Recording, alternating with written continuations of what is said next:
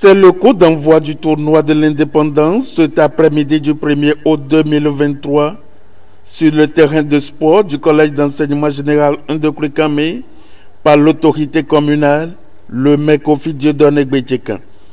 Une rencontre inédite qui va opposer l'équipe d'Ayakokwe à son homologue d'Akhokbeya. C'est ce qui va donc marquer la fin hein, de la fête de l'indépendance de à comprenez simplement que c'est la fête et qu'il n'y a pas de gagnant ni de perdant.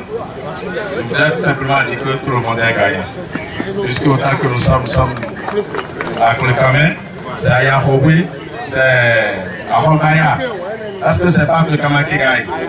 Voilà, donc je voudrais inviter les uns les autres euh, à faire preuve euh, d'amitié, parce que là, l'amitié, c'est la fraternité.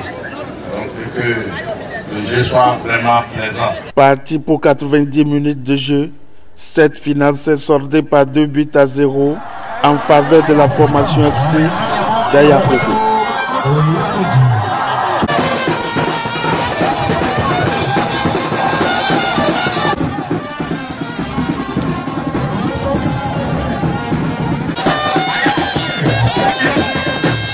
La joie c'est formidable. J'ai tellement aimé le jeu et je me suis oublié de faisait le jeu avec moi. Et je me aussi l'équipe adverse.